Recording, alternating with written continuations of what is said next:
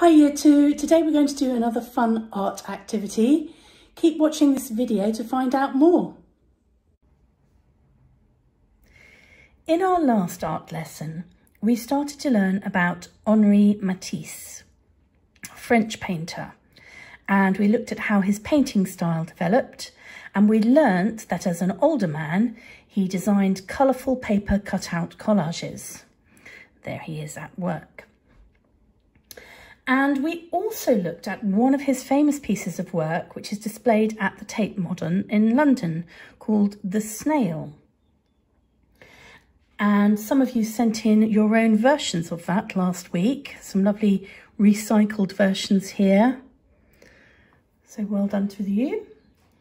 And today we're going to look at some more of Matisse's cutouts.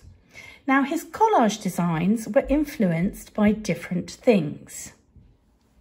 He enjoyed looking at plants and gardens, so there's a lot of plant shapes in his work. He also enjoyed music, so some of the shapes represent sound. Much of his work has also got sea life in it. He was also inspired by going to the circus and did many paintings um, about the circus. This particular one is of a trapeze act. And if you look carefully, you can see the two swings that they the uh, flying trapeze would swing on and they'd swap over and jump over onto the other side.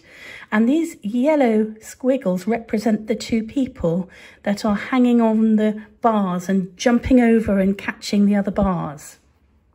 The black squares down below represent the people at the circus looking up and watching the act. And I'm these lots of flowery shapes around here. I'm not sure what they are, but I think they might represent the lights that are shining, shining down and shining up onto the trapeze artists.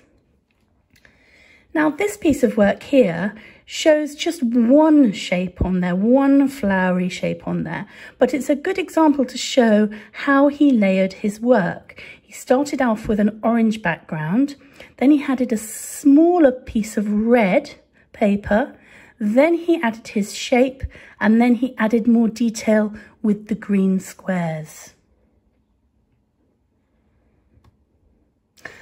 This is another piece of his work. This was a large piece that went on a big wall and it was called The Parakeet and the Mermaid. And you can see those plant images again in this. They look a bit like seaweed or coral. And these little blue bits all over there that look a little bit, they might not be, but they look to me like they're butterflies flying around the garden. Can you spot the parakeet and the mermaid? So today we're going to have a go at making our own version of one of his collages. Now I've picked out some of the flowery shapes, but if you want to look back on the video, you can choose something else that you'd like to do.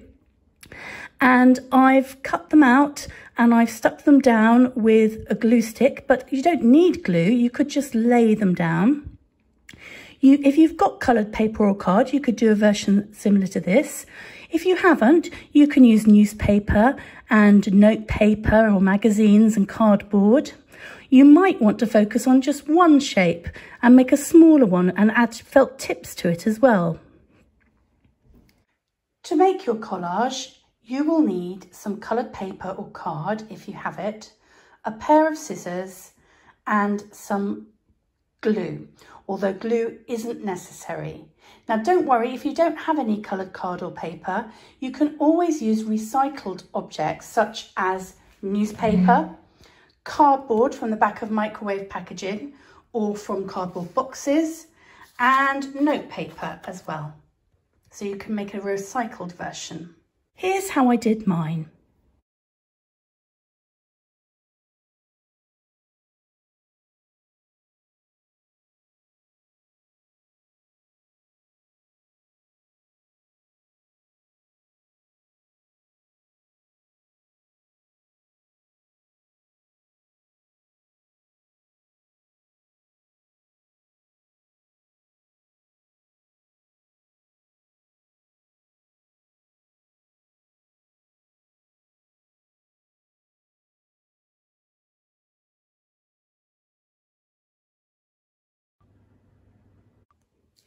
When you're drawing your shapes, your patterns, use two different coloured felt tips.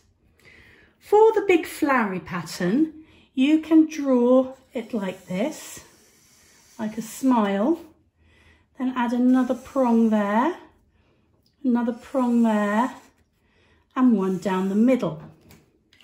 Then, with your other felt tip, draw around the edge. Now, when you get to the end of each prong, make it a bit wider. Then come back in, go up, make it a bit wider, come back in, go up, make it a bit wider, up, bit wider, and up, and a bit wider. Then, when you have your scissors, cut around the outside edge. So I'm following the orange line to get my shape. And then when I glue it down, I'm going to turn it over. So follow the outside line when you cut out, and that way you will achieve that nice curved plant shape.